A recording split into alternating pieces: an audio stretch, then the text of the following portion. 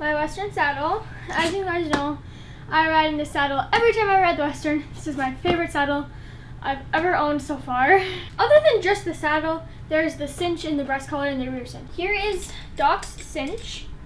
So it hooks on to right here. So I'm just gonna hook it on.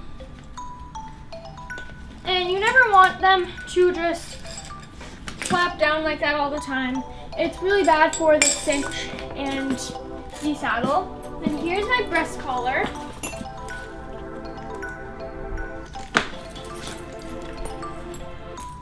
And so you don't want these things to just flop down on the floor like that because it can ruin the saddle and it can also ruin the breast collar or the cinch. So with my cinch, I will take this little clip thing and I clip it on to right here so it doesn't isn't like just loose and wrangling around.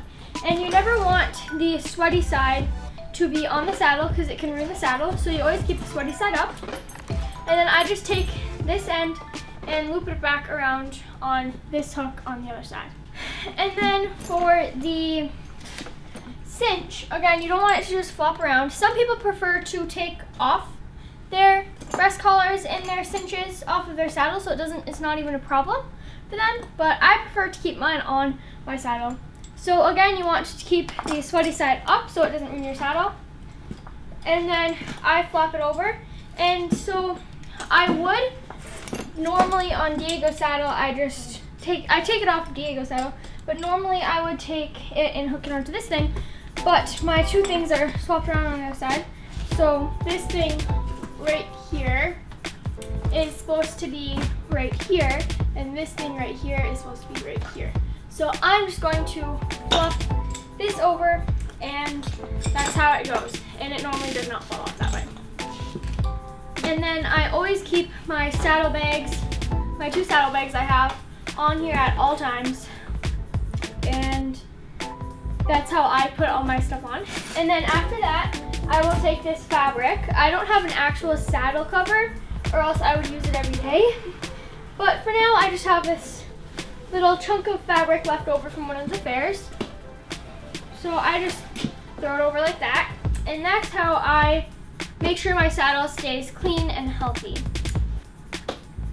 So, for parts of a saddle. So, this is my Fallon Taylor saddle sack. I got it for Christmas. I haven't really been able to use it yet, but I am super, super excited about it.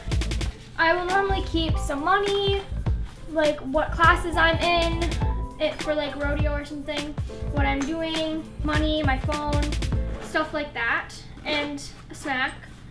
And then in back in this saddles bag, I normally don't use this for like rodeos or anything like that. I just have it for at home. There's these two little compartments for water bottles. I don't really use that though. It's just, these are kind of just there. And then this right here, there's this big open pouch. I normally keep maybe a water bottle, a sweatshirt, food, stuff like that. Or if we're going on a trail ride, just like stuff like, you know, LifeStraw, just water bottle, life straw, sweatshirt, rain jacket, that kind of stuff goes on in there. So this is the horn. So if like, it's just here to hold on to. Um, and then this is the fork or the swell. Just kind of keeps you in place. Um, this is right here. There's this little tiny, just like indent right here. That is the Powell, Pommel, Pommel. See, I know what this stuff is, but I don't. It's just, this is the Pommel. And this is the seat, obviously, where you sit down. Then I kind of know what this is. This is the, um, it's the cantle. I knew that that was cantle, but I just forgot what it's called. And then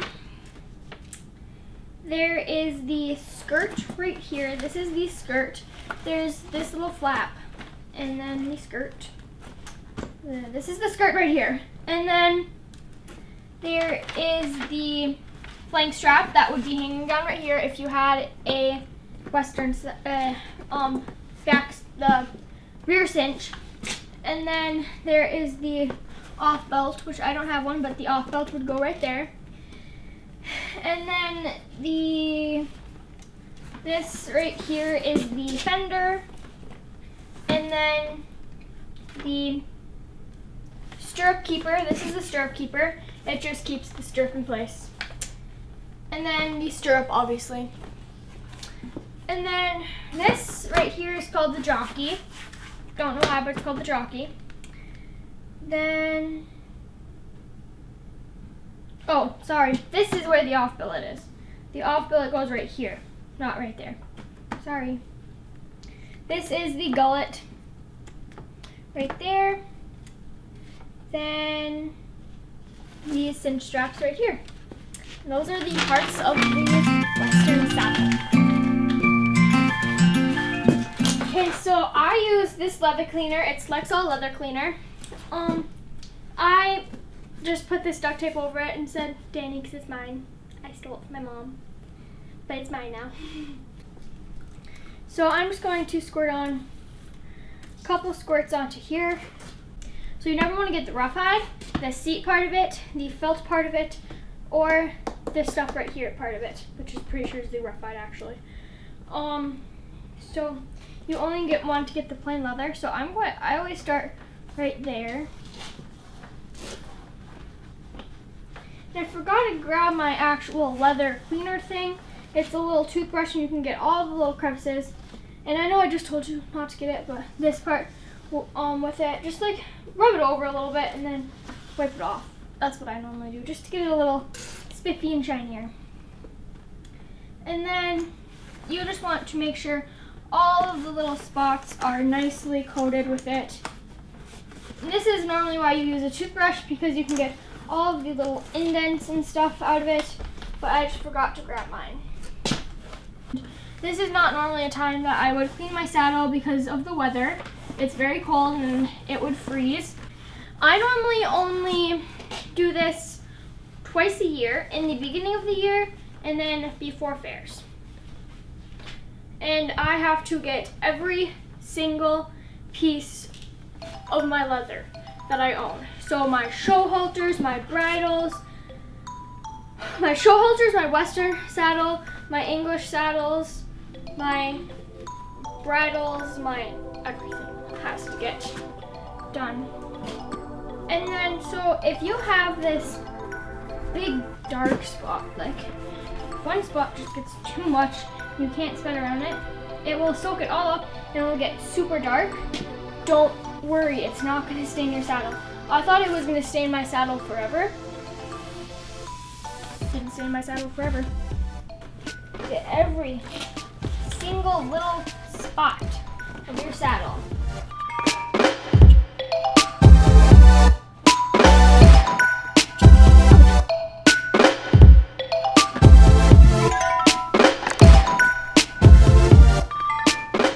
Like, oh my god, you did it wrong. No, I don't have a toothbrush. Or a leather cleaner, whatever you want to call it. This is just how I'm just gonna quickly clean it down. It's also really good for the sweaty parts of your saddle. You can just wipe all that nasty dirt off of it and sweat and dirt nastiness. And if you want, you can get some silver cleaner for your little silver spots on it. I don't really do that. I just take the cleaner and rub it over it and call it good.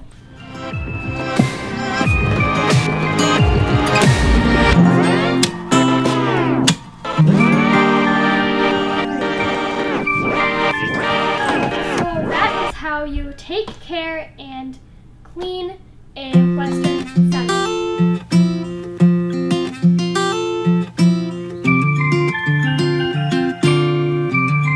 So this is the West English saddle and so as you can see there's no horn on it like the western saddle. So I'm going to go through you and tell you the parts of it. The cantle again, just like in the western saddle.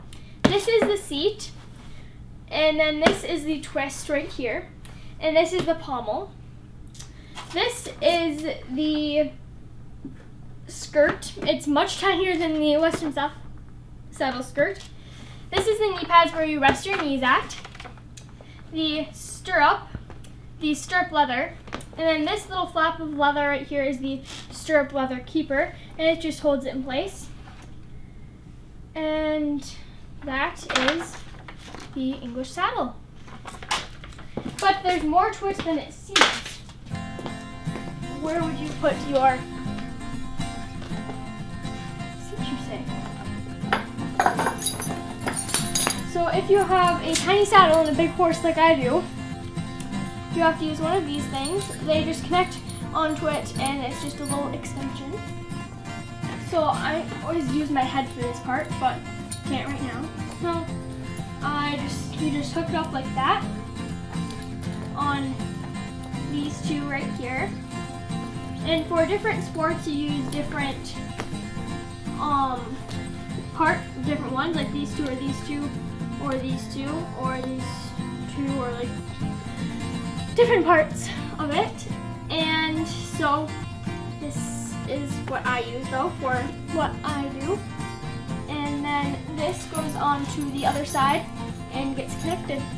And I can actually different. This one was my mom's saddle. Not my horse. This was my mom's old saddle. And. So I'm going to take them off. And when you're taking care of an English saddle, you don't want to put your cinch on the saddle. You want to hang it up on the hook so it doesn't ruin the saddle. So that's what I do. Because and they are so slippery that it just always falls off anyways. So I normally just put it on a hook or under my right there. And just like the just like the western saddle, you want to keep something over it so it keeps the dust and debris off of it. So I just use an old piece of fabric like that. And I want to thank Cavalier for sending me some stuff. So we got these amazing polo wraps. We got these boots. And then we got a couple other things, but they're down at the barn. Okay, so now when you're cleaning an English saddle, you want to lift up the skirt. I, I, I forgot what it is. You want to lift up the skirt and pull off the stirrup leathers. It is hard. I have three English saddles, and I ride in all three of them very often. And it is hard for me because I only have one, I have three pairs of stirrup leathers, but I only have three pairs, two, one pair of um, stirrups that I like to ride in because I like to ride in ones with peacock bands so if I fall off my foot will keep on it. So you want to take those off and we will clean those later. And some people prefer to, when they take, put them on to flip up that lever, but I just, I just don't think it's really necessary. I think the stirrups are gonna hold on. And if they don't, why do you need stirrups anyways? Right? Like, they're useless. Put your feet in there, it's all you do basically with stirrups. Okay, so, cleaning the saddle. take and squirt a little bit on, just like the other saddle. And you want to wipe down the entire saddle except for the underside of it, right here on the knee pad. Here, if you have some of this wet green mold stuff, you can just wipe that off. I always get it in the winter. You can just wipe that off easily. Do not get right here, right here, or right here though. And same for this side. Other than that, you can basically clean the entire saddle. So let's clean the saddle.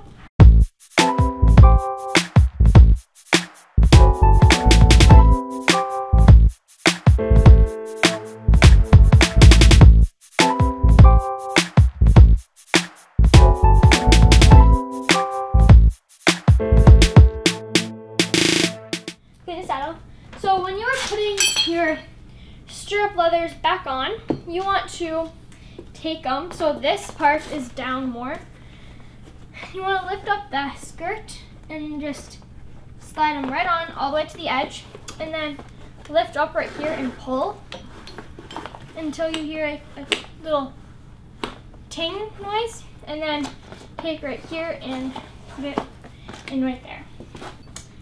And if you're not riding, you want to lift up this and do it like that. And I really love to jump and do all that, so I'm very thankful I have my English saddles. So guys, that was my video for this week. Make sure to like, share, and subscribe. Check out my Instagram underscore Deanware, and don't forget to check out Dani the Horse Girl Instagram. And we have merch too, guys. So make sure you go check that down in the description below. And we'll see you guys next time. Bye! So, we are behind the scenes now.